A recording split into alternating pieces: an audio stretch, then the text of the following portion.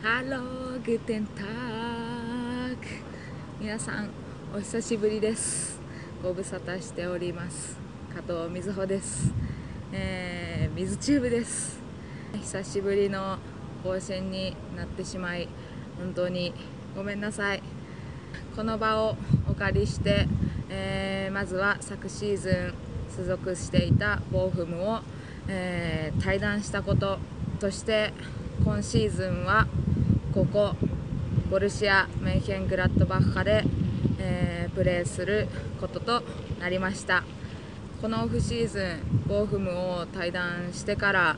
移籍にあたって、えーすごくすごく私の中で、えー挑戦をし続けてきました、えー正直な思いはすごく悔しいです。やっぱりもっともっと上でプレーしたいっていう思いでボーフムを退団し、えー一部二部で契約を勝ち取るためにっていう思いで、えーこのプレシーズン挑戦してきたんですけど、最終的に契約まで、えー勝ち取ることができなかったからすごく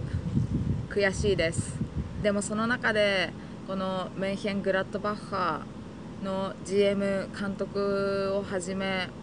えーすごくすごく私のことを必要としてくれて何度も何度も話をさせてもらって今シーズンメンヘン・グラッドバッハのこのユニフォームを着て戦うことを決めました。私自身は34週間くらいかな遅れてクラブに合流したんですけど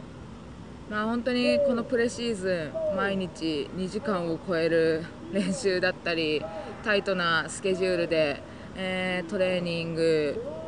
を重ねてきました、まあ本当は上のリーグでプレーがしたかった昨シーズンボーフムで昇格できなかったこともそうですけど、えーこの悔しい思いを今シーズン持ち続けて本当に私を必要としてくれた、えークラブでサッカーができること本当に嬉しいですし、えー感謝の思いです。このメンヘン・グラッドバッハのユニフォームを着れることすごく誇りに思うしこのクラブのために、えー今シーズンリーグ優勝そして昇格をかけて私自身もまだまだもっともっと上を見続けて、えー熱く強気に戦い続けたいと思います。皆さんには、えーなかなか報告ができなかったんですけど私は変わらずドイツで戦い続けています、え今シーズンも、えーボルシア・メンヘン・グラッドバッハの加藤瑞穂の応援を、えー熱く熱く熱くよろしくお願いします。これからまた、えドイツでグラッドバッハで熱く挑戦し続けてる姿を皆さんにも、えーお伝えしていきたいと思います。また次回お会いしましょう。ビスネステマチャオチャオ